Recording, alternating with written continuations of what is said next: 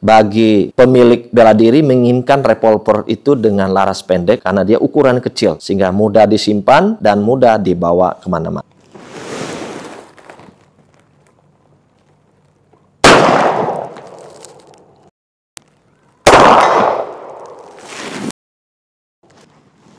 lumayan untuk 15 meter untuk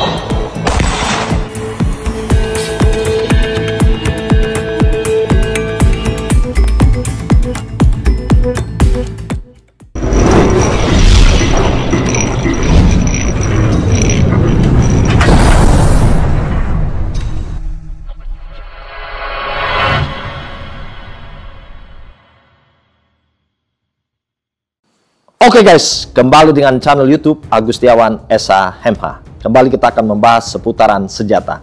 Senjata-senjata yang ada di masyarakat, warga sipil, termasuk TNI Polri. Tentunya senjata itu ada yang memiliki izin, ada yang tidak memiliki izin, ada sama sekali tidak memerlukan izin untuk memiliki dan menggunakannya. Kali ini kembali kita akan membahas jenis senjata revolver. Sudah lama kita tidak membahas senjata revolver. Senjata revolver yang kita kenal kali ini bukan dari pembahasan jenis senjatanya, tetapi kita akan membahas kepada perbedaannya.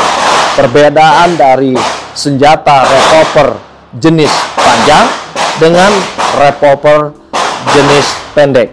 Tentu ada perbedaan dan harus kita bahas kali ini. Apa yang menjadi perbedaan revolver laras panjang dengan revolver laras pendek? Nah, untuk membedakan kali ini, sebagaimana kita ketahui bahwa revolver dia mempunyai cara pengisian peluru melalui silinder yang ada jenis senjata ini. Berbeda dengan pistol, dia pengisiannya adalah dengan adanya magazen untuk mengisi pelurunya. Dan sementara untuk revolver ini memang sedikit kita butuh makan waktu untuk pengisiannya. Di samping dengan jumlah pelurunya yang sedikit berbeda dengan pistol dengan jumlah peluru yang cukup banyak dalam pengisiannya karena magazen yang dalam kapasitas dapat isikan dengan sejumlah peluru yang cukup banyak. Tentu pembahasan lainnya adalah pistol dengan revolver peminat dan hobinya berbeda. Orang menghobi revolver karena klasiknya, karena senjata ini senjata yang memang sulit didapatkan pada zaman era sekarang. Model-model revolver sekarang dia lebih kepada model pistol-pistolan. Namun model yang lama dia model klasik yaitu dengan teksturnya terbuat dari kayu dan tentunya dari bahannya baja murni sehingga memang berat. Namun kalau dengan pistol memang saat ini kita banyak menginginkan pada jenis pistol memang karena dari bahannya yang ringan karena terbuat dari polimer, baja ringan, aluminium dan lain-lainnya. Dan tentunya ini pistol dia mempunyai kapasitas magazen yang cukup banyak dibandingkan dengan revolver. Kita akan mencoba untuk revolver laras panjang untuk perkenaan jarak 15 meter ya. Untuk jarak 15 meter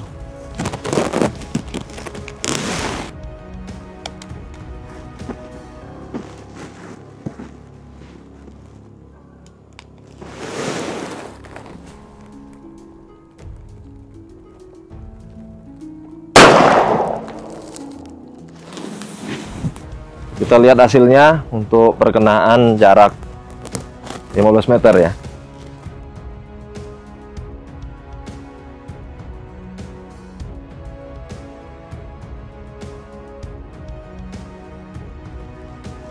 Lumayan untuk 15 meter untuk senjata revolver laras panjang.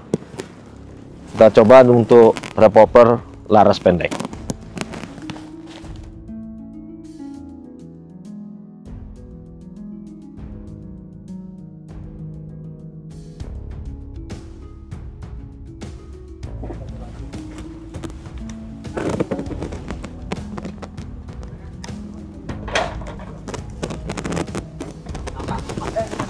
kita coba untuk revolver laras pendek jarak 15 meter.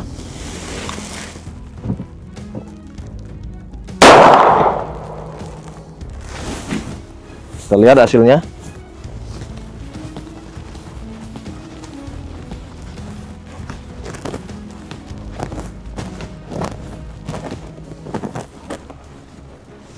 Untuk perkenaan mungkin kurang baik ya untuk 15 meter. Beda dengan laras panjang, tadi perkenaan cukup baik. Jika di laras pendek dia sedikit ke bawah. Itu menjadi perbedaan untuk laras panjang dan laras pendek. Sekarang kita coba dengan jarak lebih pendek lagi. Itu 10 meter.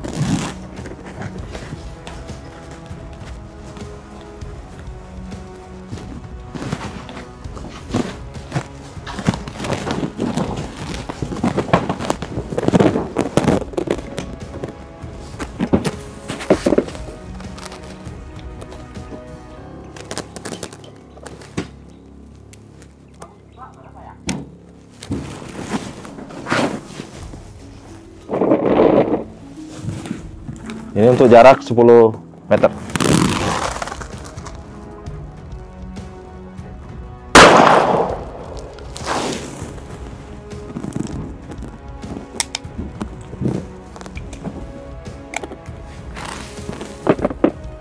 Kita lihat hasilnya.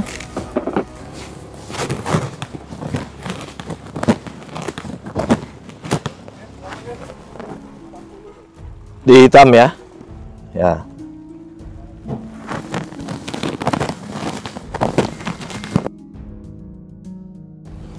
Lanjut kita jarak 10 meter untuk laras pendek.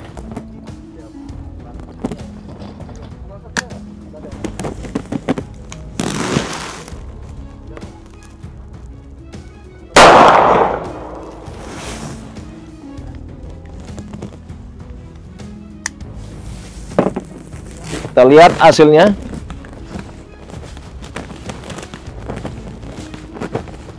Nah, ini perkenaannya.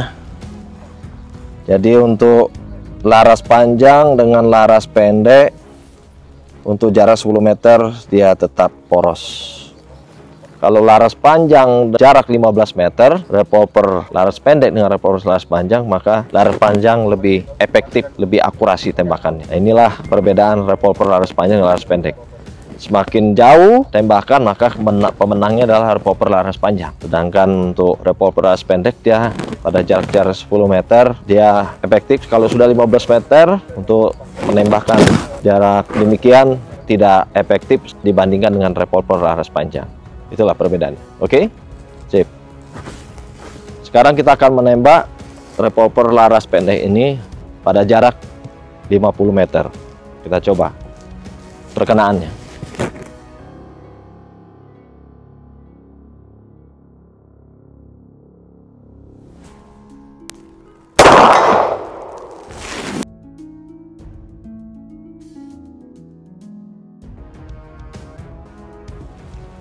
Dan revolver ini pada jarak yang sangat jauh mungkin sulit untuk mengenai pada jarak 50 meter.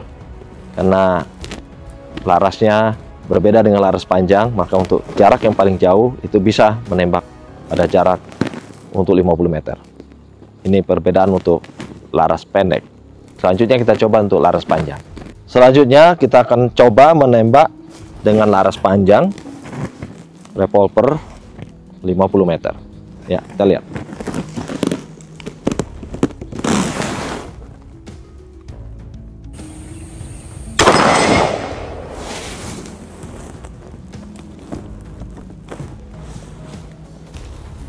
Untuk perkenaan jarak 50 meter maka laras panjang lebih bisa menjangkau karena laras yang panjang ini dibandingkan laras pendek tadi maka laras panjang lebih menguasai akurasi tembakan pada jarak 50 meter.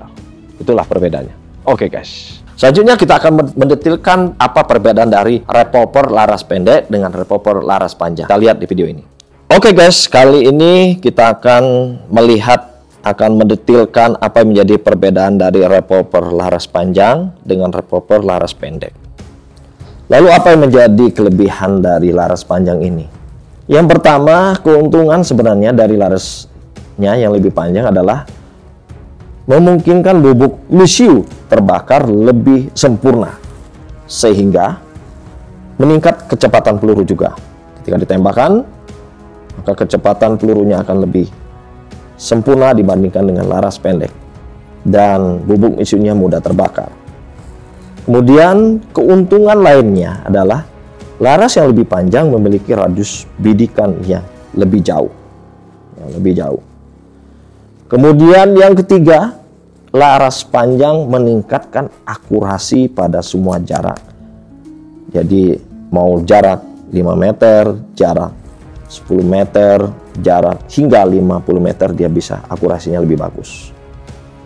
Kemudian keuntungan lainnya adalah laras yang lebih panjang adalah bobot yang lebih berat tentu menjadikan pegangan akan lebih stabil dibandingkan dengan ini laras pendek dia akan terjadi guncangan yang tidak nyaman. Namun kalau ini karena laras panjang dia akan lebih stabil pada saat pada saat dilakukan penembakan akan lebih stabil. Namun untuk keuntungan laras pendek adalah lebih pendek, memudahkan untuk membawanya ke mana-mana. Kemudian untuk disembunyikan revolver revolver jenis inilah yang lebih enak, nyaman disimpan dan disembunyikan. Dan memang untuk revolver itu umumnya mempunyai kaliber 38, kaliber besar Memang ada untuk bela dirinya kaliber 32, 22. Dan cara pengisiannya adalah seperti ini. Jadi ada perputaran, jadi kalau kita tembakkan akan berputar ke kiri. Ini, ini saya masukkan. Nah, nah ini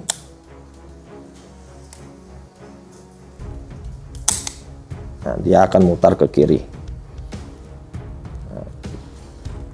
Sama untuk ini kita keluarkan, sama untuk revolver laras pendek. Ya, perputarannya sama ke kiri. Nah, ini kalau kita tembakkan, nah, putarannya ke kiri. Jadi ada jenis-jenis kaliber-kaliber lainnya untuk revolver itu ada 32 dan 22. Ada 22 juga.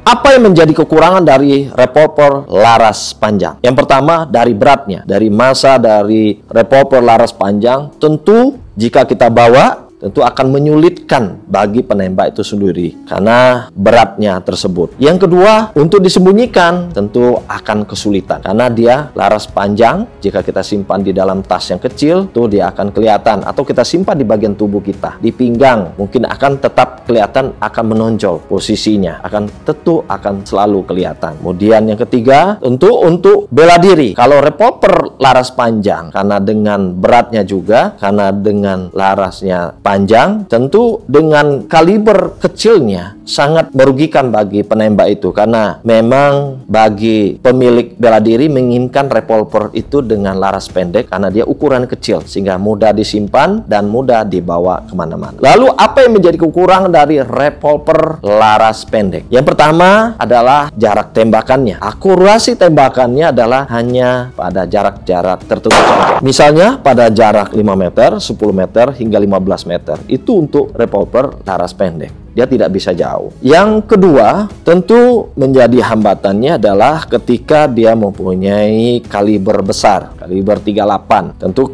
pada saat kita tembakan itu akan terjadi guncangan yang cukup kuat, recoilnya kuat karena kalibernya pada umumnya revolver ada kaliber besar yaitu kaliber 38. Tentu jika tembakan akan terjadi goncangan, gangguan pada saat tembakan. Kemudian yang ketiga, tentu pemilik revolver dengan laras pendek atau ukuran kecil ini pada saat pemegangan hand gripnya tentu tidak akan nyaman karena posisinya itu untuk revolver laras pendek untuk hand gripnya lebih kecil dibanding dibandingkan dengan revolver dengan laras panjang. Sehingga saat melakukan hand grip pemegangan revolver itu menjadi gangguan bagi penembak itu. Oke guys, itu yang menjadi kekurangan atau kelebihan dari revolver laras panjang maupun laras pendek tadi. Tinggal mana yang Anda pilih. Apakah pilih revolver laras panjang apa pilih revolver laras pendek. Itulah menjadi kekurangan kelebihan untuk apa yang Anda pilih. Apakah saya akan membeli yang laras panjang, apa akan saya pilih revolver yang laras pendek. Apa yang menjadi kelebihan dari revolver laras panjang? Yang pertama adalah revolver laras panjang. Dengan laras yang panjang ini tentu dalam pembakaran mesiunya ketika dia keluar dari moncong laras dari revolver itu tentu pembakarannya akan lebih sempurna sehingga tentu yang kedua mengakibatkan akurasi tembakannya akan lebih presisi lebih pada semua jarak yang kita inginkan. Berarti yang ketiga adalah semua jarak tembakan dengan laras panjang ini dapat dikondisikan dengan tepat, baik paling dekat atau jarak yang paling jauh. Sehingga dengan laras panjang ini, yang keempat adalah kemampuan akurasi tembakannya yang lebih sempurna. Jadi semua jarak tembakan, maka revolver laras panjang ini mampu menembak presisi dengan jarak paling pendek, misalnya jarak 5 meter, jarak 10 meter, 15 meter. Maka revolver laras panjang, jarak 50 meter dia akan tetap persisi. Kelima adalah dengan beratnya masa dari revolver laras panjang ini. Tentu ini menjadi kelebihannya karena kita akan memegang senjata itu kalau revolver pendek karena dia ringan saat kita tembakan maka terjadi recoil atau gangguan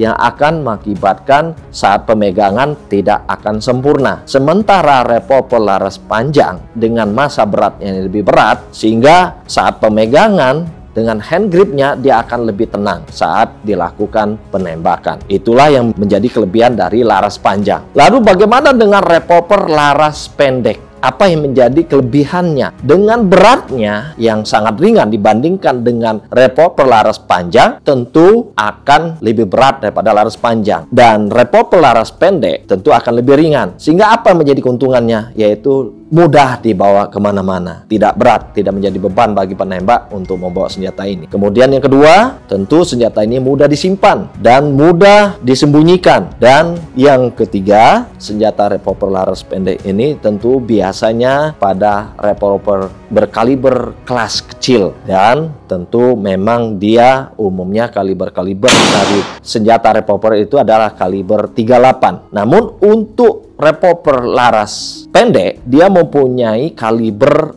bisa 32, bisa untuk kaliber 22. Memang ada juga untuk laras panjang untuk kaliber 22 dan 32-nya. Namun untuk laras pendek pada umumnya adalah dengan kaliber 22 dan 32. Nah, itulah yang menjadi pembeda untuk revolver laras panjang dengan revolver laras pendek. Oke guys, tadi kita sudah mereview senjata revolver yaitu perbedaan pada revolver laras panjang dengan revolver laras pendek dan kita menjelaskan bagaimana kelebihan dan kekurangannya. Dan semoga tayangan ini bermanfaat. Jangan lupa like video ini, jangan lupa share video ini, jangan lupa komen video ini bersama channel YouTube Agustiawan SHMH.